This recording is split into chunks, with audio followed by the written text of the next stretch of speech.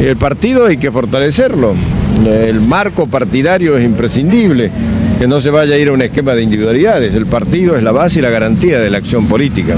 De todas maneras, el alfonsinismo acompañará esta nueva realidad política que hay dentro de la Unión Cívica Radical. Tenemos que hablar en el partido, interpretar el sentido del voto y trabajar por el país, como ha hecho siempre la Unión Cívica Radical. Así lo vamos a hacer y vamos a dar el ejemplo en la capital. Y dentro del partido vamos a hablar de esto. Hay que poner en la acción positiva y tenemos gran responsabilidad, que es la de ser oposición y el control del gobierno. Ya estuvo con el doctor Pugliese, estuvo dialogando recientemente. ¿Cree que es una buena elección?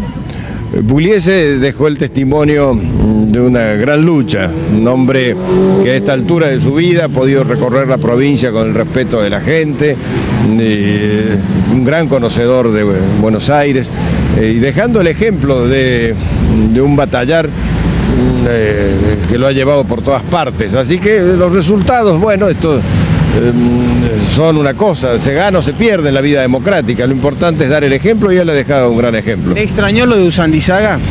Me extraña lo de Usandizaga, no tengo las cifras finales, pero es el precio de la ley de lemas. La ley de lemas que a mí no me gusta, los cambios de los partidos hay que promoverlos desde, desde adentro, como hicimos en la capital federal.